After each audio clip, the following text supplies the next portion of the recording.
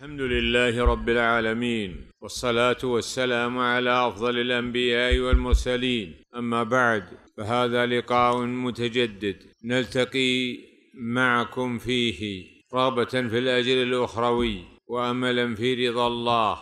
فإن الملائكة لتضع أجنحتها لطالب العلم رضا بما يصنع. كنا فيما مضى أخذنا دروسا تتعلق بأحكام الصلاة. ولعلنا إن شاء الله تعالى أن نواصل في ذلك ونبدأها بالكلام عن تحية المسجد.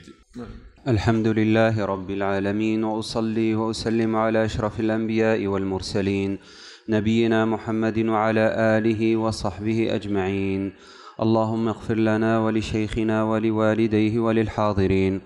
قال الإمام البخاري رحمه الله تعالى عن أبي قتادة السلمي رضي الله عنه أن رسول الله صلى الله عليه وسلم قال إذا دخل أحدكم المسجد فليركع ركعتين قبل أن يجلس ولا يجلس حتى يصلي ركعتين. هذا الحديث المتفق عليه يتحدث عن تحية المسجد وعن شيء من أحكامها فأول ذلك أن التحية مختصة بالموطن الذي أوقف ليكون مسجدا. ولذا قال إذا دخل أحدكم المسجد. والمسجد هنا معرفة بأهل العهدية وبالتالي تعود على المسجد المعهود شرعا.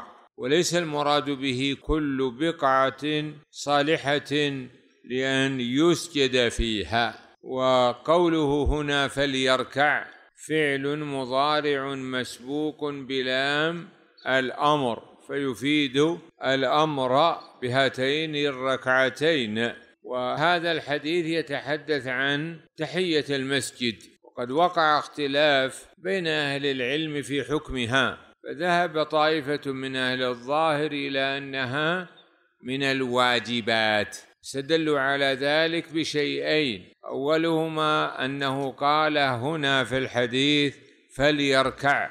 والركوع ليس عبادة وحده فدل هذا على أن المقصود تحية المسجد بركعتين.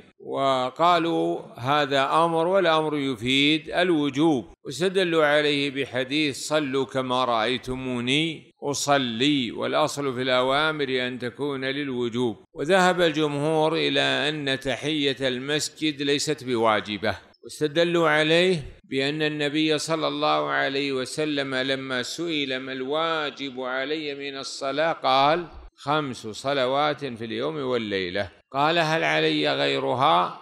قال لا إلا أن تطوع. فدل هذا على عدم وجوب تحية المسجد. وقوله هنا فليركع ركعتين. ركعتين أتي بهما على سبيل التنكير لإفادة أن هذه الصلاة لم يؤمر بها في مكان بعينه.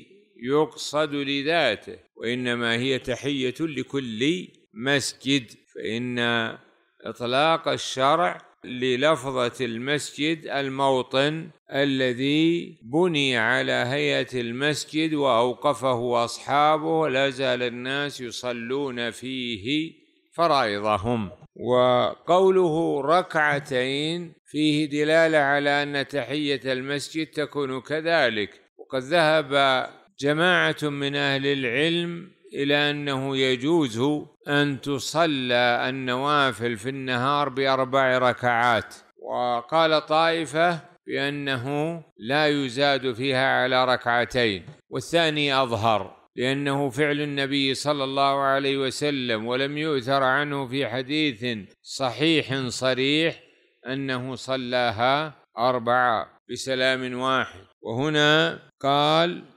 فليركع ركعتين. واستفيد من هذا أن ذوات الأسباب من الصلوات تفعل عند وجود أسبابها. وفي الحديث بيان أن النهي عن الجلوس مؤقت ولذا قال ولا يجلس حتى يصلي ركعتين وذكر الجلوس هنا ليس مقصودا لذاته وإنما المراد به ترك القيام. فلو كان مضطجعا أو لو كان يريد الاضطجاع أو كان يريد أي حركة فإنه يؤمر بركعتي المسجد تحية المسجد. قال ولا يجلس حتى يصلي ركعتين. يعني الجلوس الدائم الجلوس المستقر. ما الجلوس العارض؟ كجلوس الإنسان بين السجدتين فهذا جلوس عارض. هكذا أيضا الجلوس العارض الذي يجلسه الإنسان لحاجة يحتاج للجلوس فيها فلا يدخل حينئذ في هذا اللفظ من الحديث. نعم. الله إليكم. يقول رحمه الله عن عبد الله بن عمر رضي الله عنهما أن المسجد كان على عهد رسول الله صلى الله عليه وسلم مبنيا باللبن وسقفه الجريد. وعمده خشب النخل فلم يزد فيه أبو بكر رضي الله عنه شيئا وزاد فيه عمر رضي الله عنه وبناه على بنيانه في عهد رسول الله صلى الله عليه وسلم باللبن والجريد وأعاد عمده خشبا ثم غيره عثمان رضي الله عنه فزاد فيه زيادة كثيرة. وبنى جداره بالحجارة المنقوشة والقصة وجعل عمده من حجارة منقوشة وسقفه بالساج. نعم. قوله هنا عن عبد الله بن عمر رضي الله عنهما أن المسجد يصف المسجد النبوي فال هنا للعهد؟ كان على عهد رسول الله صلى الله عليه وسلم مبنيا باللبن واللبن طين يخلط ببقية القت أو الحشائش فيصلب وبالتالي يتمكنون من بناء بيوتهم به. قال وسقفه الجريد أي أن سقف المسجد من جريد النخل وقال وعمده يعني الأعمدة التي في المسجد خشب. فهي قد صنعت من جذوع النخل. قال فلم يزد فيه أبو بكر رضي الله عنه لأن ولاية أبي بكر كانت لسنتين وكانت الجيوش عنده عظيمة. في السنة الأولى لقتال المرتدين وفي السنة الثانية يقاتل فارس والروم. ولذلك لم يكن عنده اعتناء بهذا الباب لانشغاله بغيره من أبواب الطاعة. قال وزاد فيه عمر رضي الله عنه وبناه على بنيانه على عهد رسول الله صلى الله عليه وسلم باللبن والجريد وأعاد عمده أي أعمدته خشبا أي انتقلها الاعواد الجيدة. ثم إن عثمان رضي الله عنه لما علم بدأ يعير في ذلك الفعل. قال ثم غيره عثمان ماذا فعل؟ زاد فيه زيادة كثيرة. ووسع المسجد في عهد عثمان.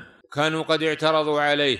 وقالوا بأن رسول الله صلى الله عليه وسلم قال لا تشد الرحال إلا إلى ثلاثة مواطن. وأشار إلى مسجده وقال ومسجدي هذا. فظن بعضهم أنه إذا زيد فيه فالزيادة لا تأخذ حكم الأصل. والجمهور على خلاف هذا يرون أن المزيد له حكم ما هو زائد عليه فإنه أدخل في حدوده وأصبح جزءا منه. ومن ثم فإن الصلاة في الزيادة سبب من أسباب تحصيل أجر يماثل من صلى في مقدم المسجد.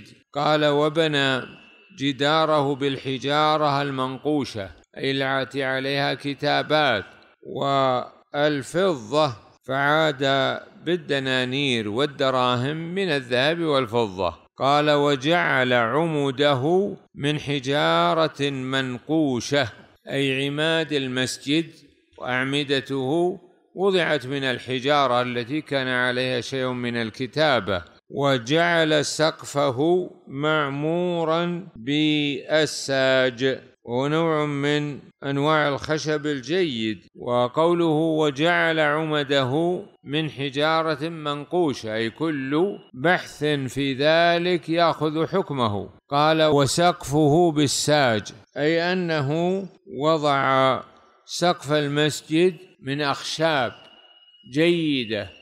كان يؤتى بها من الهند. ففي هذا الحديث فضيلة المسجد وعظم مكانته وجواز البناء على المسجد القديم متى كانت فيه مصلحة وأن حكم المسجد القديم من أجره ثابت ولو انتقل حكم المسجد الجديد. وفي هذا الحديث تزيين المساجد وزخرفتها بما يضمن قوتها. بارك الله فيكم ووفقكم لكل خير وجعلني الله وإياكم من الهداة المهتدين كما نسأله سبحانه أن يصلح أحوال الأمة وأن يردهم إلى دينك ردا حميدا كما نسأله جل وعلا أن يوفق ولاة أمرنا لكل خير وأن يبارك فيهم وأن يجزيهم خير الجزاء وأن يجعلهم موفقين في كل أمورهم. بارك الله فيكم وصلى الله على نبينا محمد وعلى آله وصحبه أجمعين.